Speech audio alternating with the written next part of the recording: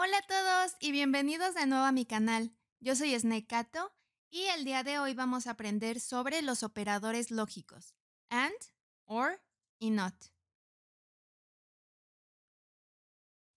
Utilizamos el operador lógico AND cuando necesitamos que se cumplan dos o más condiciones al mismo tiempo. Por ejemplo, estamos en un restaurante de pizzas pero somos demasiado exigentes y solo comemos pizzas que tengan dos ingredientes como mínimo.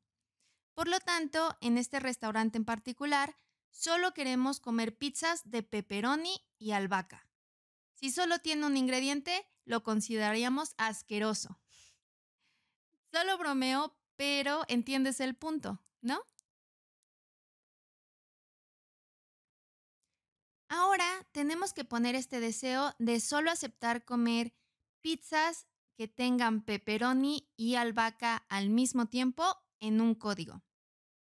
En primer lugar, creamos dos variables booleanas, pepperoni y albahaca. Cuando las variables sean true, significa que la pizza tiene este ingrediente. Y cuando es false, que este ingrediente no está dentro de la pizza. Después de esto, creamos un if incluyendo un operador lógico AND. Y lo vamos a escribir de la siguiente manera. If pepperoni equals to true and albahaca equals to true, print pizza de pepperoni y albahaca. Else, print solo hay un ingrediente disponible.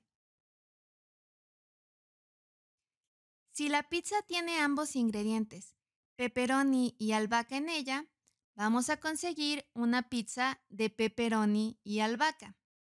De lo contrario, vamos a pedirle a Python que nos devuelva que solo hay un ingrediente disponible. O también podríamos decirle que solo tenemos pizzas vegetarianas o pizzas de pepperoni disponibles. El operador lógico OR es útil cuando necesitamos que solo se cumpla una condición. Por ejemplo, nos gusta tanto la pizza que comeríamos cualquier tipo de pizza siempre y cuando incluya alguno de nuestros ingredientes favoritos, albahaca o pepperoni. Como hicimos antes, cuando lo transformamos en código, podemos establecer una de las variables como false y la otra como true para ver cómo funciona este operador lógico. Este primer ejemplo es demasiado simple. Si alguna de las condiciones es verdadera, la pizzería preparará una pizza para nosotros. Si nuestros ingredientes favoritos no están disponibles, el empleado nos pedirá que elijamos un ingrediente diferente o también podemos pedirle a Python que en su lugar devuelva un print diciendo, lo siento, pero nos hemos quedado sin pizzas el día de hoy.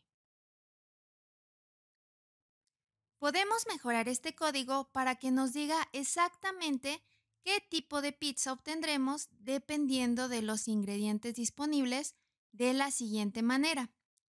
Empezamos con if pepperoni igual a true or albahaca igual a true, print, estamos preparando tu orden.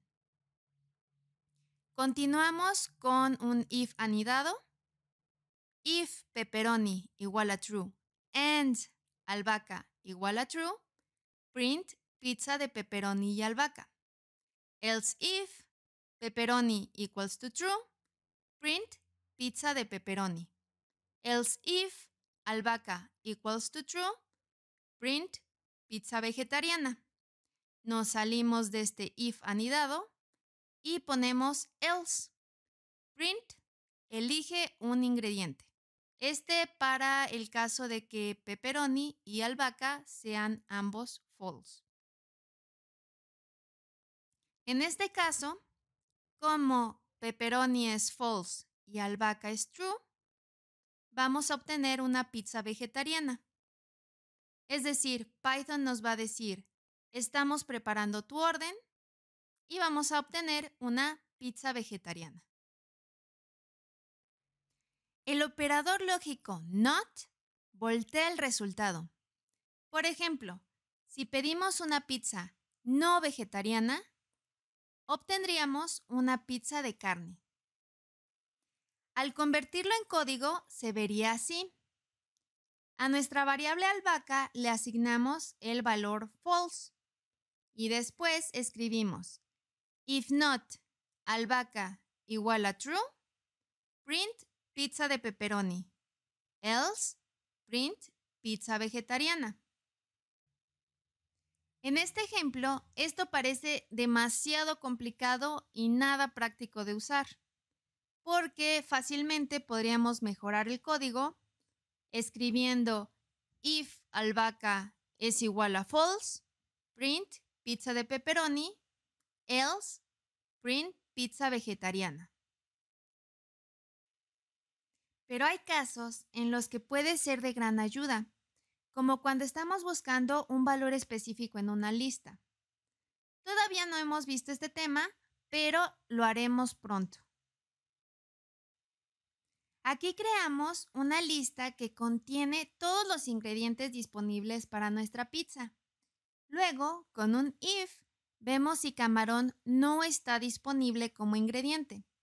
Si no está en la lista, Python nos dirá camarón no está disponible.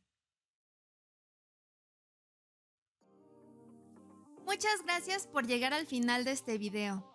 Si te gustó, no olvides darle me gusta y compartirlo con tus amigos. Tengo una pregunta final para ti. ¿Cuál es la peor pizza que has probado en tu vida? Déjalo en la caja de los comentarios. Nos vemos. Bye.